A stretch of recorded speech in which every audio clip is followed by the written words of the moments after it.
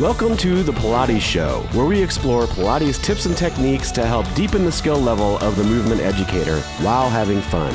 Hi, I'm Jen Gianni and Christine is with me and we are highlighting Madeline Black's video on our site called Pelvis in Motion.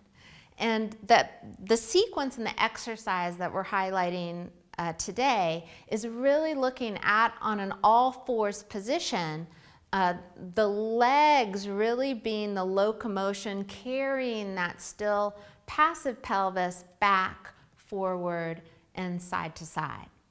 And Madeline goes through so many sequences of really getting us aware, they're very, very creative sequences on um, how to move the pelvis on the leg and then how to move the leg on the pelvis and just noticing the difference and when we're doing it in combination, et cetera, et cetera. So this is one of the sequences.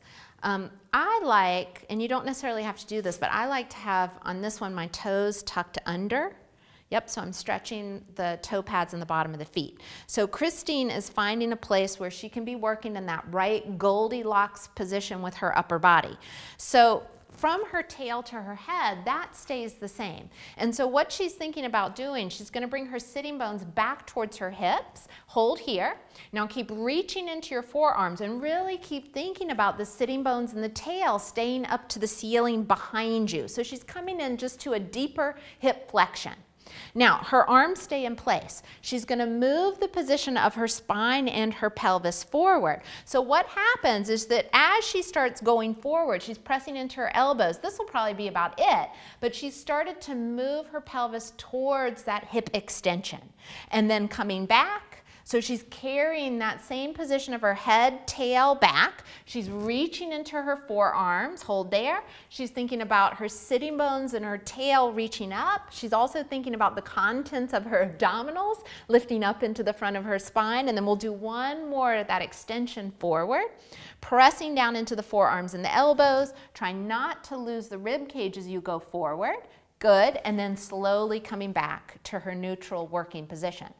So now we're gonna go at a diagonal. So we have a teacup on her sacrum, so we don't want to see the pelvis rotating. So she's going to take her pelvis, her left sitting bone towards her left heel. Mm-hmm. So good. So come back to center for a second. Now I'm going to help guide her. So it's going to be here, right? And so hold here. You're going to reach into that right elbow and really think about your left sitting bone lifting to the corner of the ceiling behind you. Good. And then gently shift it back to center. Good. So all these four points stay the same.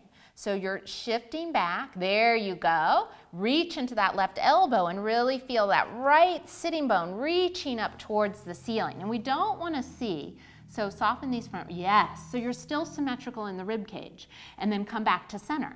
So if this were a picture frame, it's just like I'm tilting the picture frame to one side. Hold here for a second. Good, reach into that right forearm. I'm looking that the rib cage stay nice and symmetrical and the, the teacup has not rotated off. That looks good. Come back to center. And then take that picture frame. So we're not twisting or bending the picture frame as we, yes, there you go. Hold here. Soften these ribs. Reach into that left forearm. Beautiful. Come back to center. She's getting better and better through the repetitions, and that's part of it. Go to the left again. Good. Hold. Soften here a little bit. Perfect. And then come back to center. And now come to the right. Yeah, good, perfect. And it's, it's back to this right rib cage. Even though she's getting better and better, there's always the sense, whether she goes to the left or the right, that she wants to open that right rib cage, which is interesting. Good, and sit back into child's pose.